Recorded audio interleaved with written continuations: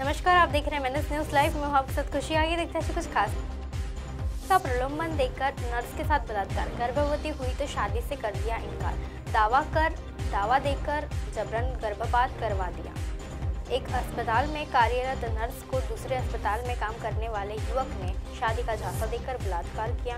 युवती गर्भ, गर्भवती हुई तो शादी से इनकार कर दिया। साथ ही उसका गर्भपात भी करा दिया। पीड़िता की शिकायत पर बडनेरा पुलिस ने आरोपी अरसलाम काजी के खिलाफ भावित की धारा तीन सौ सतहत्तर, तीन सौ सोलह, चार सौ चार सौ सत्रह और पाँच सौ छः के तहत मामला दर्ज किया बडनेरा पुलिस ने के पुलिस सूत्रों के से मिली जा, मिली जानकारी के अनुसार पीड़िता के पिता के निधन के बाद वह एक अस्पताल में नौकरी कर रही थी।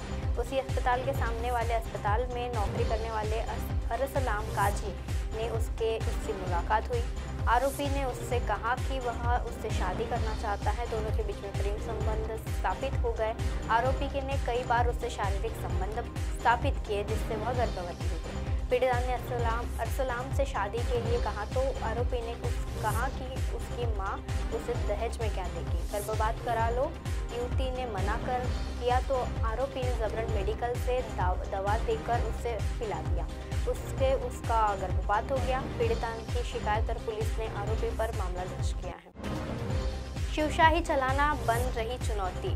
कभी पार्ट्स की कमी, कभी जानकार मैकेनिक की कमी बन रही है वजह। एसटी महामंडल के शिवशाही बसों का संचालन एक चुनौती बन गया है। लगातार बसों में आ रही समस्या और बसों के पार्ट्स की कमी की वजह से सभी शिवशाही बसों का संचालन नहीं हो पा रहा। है वही सूत्रों की माने तो एक बड़ी बात और सामने आ रही है कि जो जानकार मैकेनिक की कमी हो रही है, क्योंकि शिवशाही बसों के मेंटेनेंस के लिए जानकार मैकेनिक काफ़ी कम है। ऐसे में बसों को मना, बनाने को लेकर भी काफ़ी परेशानी हो रही है। इस स्थिति में बसों को डेपो में खड़ा रखना ही महामंडल की समझ रही।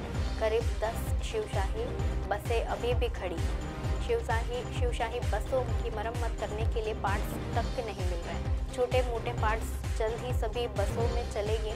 बाहर से खरीदे जा रहे हैं, जबकि बड़े और महँगे पार्ट्स के लिए केंद्रीय कार्यशाला का मुँह ताड़ना पड़ रहा है। यही कारण है कि खराब हुई दर्जनों वो बस वर्कशॉप में मरम्मत के लिए कई दिनों से खड़ी रही है। सूत्रों के माने तो अलग अलग वर्कशॉप में 10 से ज़्यादा शिवशाही बसें खड़ी हैं। ज़्यादातर बसों का संचालन शुरू हो चुका है। कुछ शिवशाही बसें बची हैं। उसी से, उससे भी जल्द ठीक कर यात्रियों की सुविधा के लिए चलाया जाएगा। हमारा पूरा प्रयास है कि यात्रियों को बेहतर यात्रा का लाभ मिले। श्रीकांत गर्भने विभागीय नियंत्रक एस पी नागपुर ने पार्ट्स एक्सचेंज कर चला रहे हैं काम। और महामंडल के एक कर्मचारी ने बताया कि फ़िलहाल इसके द्वारा शिवशाही बसों को चलाने के लिए पार्ट्स एक्सचेंज कर काम चलाया जा रहा है। वर्कशॉप में अगर पार्ट्स नहीं होते तो पहले खड़ी बसों के पार्ट्स निकालकर अस्थायी तौर पर दूसरे बसों में लगाया जाता है। कुत्तों को बचाने के प्रयास में भाई की मौत, सब घायल। भाई घायल। अमगांव तहसील के पदापुर में सदाशिव थेर के घर के सामने कुत्तों को बचाने की कोशिश में कार सड़क के ड्राइवर ने ड्राइवर से टकरा गई और इस दुर्घटना में कार चालक की मौत हो गई, जबकि वाहन घायल हो गया।